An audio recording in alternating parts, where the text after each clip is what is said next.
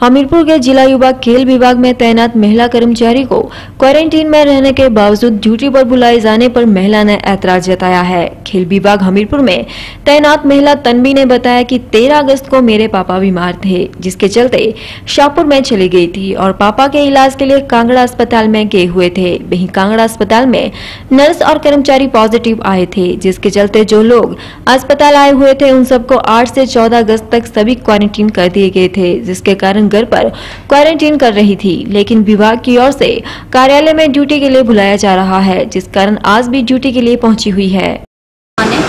Thirteen को मेरे पापा थोड़े सीरियस हो गए थे, उनको कैंसर है, और उनका घर से मुझे कॉल आया था कि आप यहाँ पे आ जाओ। तो हम हॉस्पिटल में गए थे, मेरा जो माइका है वो शाहपुर में है डिस्ट्रिक्ट कांगड़ा में है शाहपुर में। तो वहाँ पे वहाँ पे जो डॉक्टर्स थे वो पॉजिटिव आए, एक नर्स और एक सफ़ाई कर्मचारी पॉजिटिव आया था। तो हम, मेरी पूरी फैमिली वहीं पे थी और फिर उसके बाद वहाँ पे एक लेटर निकाला गया है कि जो जो भी वहाँ पे जिन्होंने विज़िट किया है आठ से लेकर चौदह तारीख तक, वो सारे क्वारंटाइन रहेंगे। तो मैं क्वारंटाइन ही थी अपने घर में बट सर ने बोला कि आपको आना पड़ेगा यहाँ पे, क्योंकि ड्यूटी आपको करनी पड़ेगी, क्योंकि आप तो इफेक्टेड नहीं हैं। तो आप आओ और अपनी ड्यूटी दो, फिर मुझे आना वहीं इस बारे में जिला खेल अधिकारी रविशंकर ने बताया कि महिला कर्मचारी के क्वारंटीन होने की जानकारी नहीं थी और पिछले तीन चार दिनों से महिला कर्मचारी बिना बताए ड्यूटी से नजरत थी जिसके कारण कार्यालय आने के लिए कहा गया था। आ, मैं यहाँ पे जब मुझे पता चला कि यहाँ मीडिया वाले यहाँ पे आए हैं मुझे अभी पता चला कि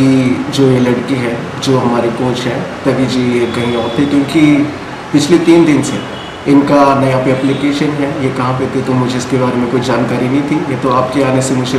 पता चला कि ये कंटेनमेंट जोन से है।